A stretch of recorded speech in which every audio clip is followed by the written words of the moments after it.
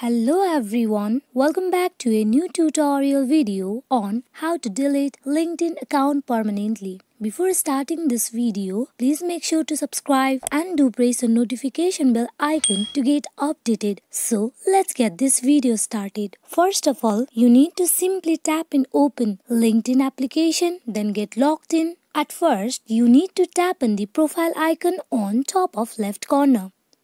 As you can see the option of settings, tap on it. Under settings, you can see many options. You tap in account preferences. Scroll to the down. As you can see under account management, the option of hibernate account and also close account. If you want to deactivate your account temporarily, then you need to tap in Hibernate account and go for the further process. But for this video, we are going to delete our account permanently, so we will tap in Close account. Tap in Continue.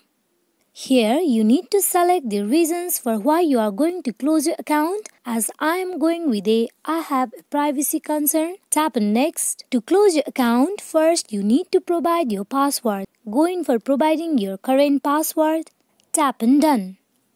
As you can see, we have closed your account. Here, my LinkedIn account has been closed. That is, my LinkedIn account has been permanently deleted. Hope this video is fruitful for you all on how easily you can deactivate or you can delete your LinkedIn account permanently. Thank you.